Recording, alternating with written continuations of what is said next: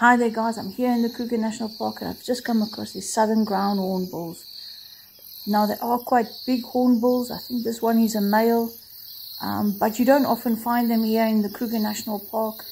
Um, I've only seen few of them and I've seen very few female ground hornbills in this park. Please do enjoy the sighting of this beautiful bird.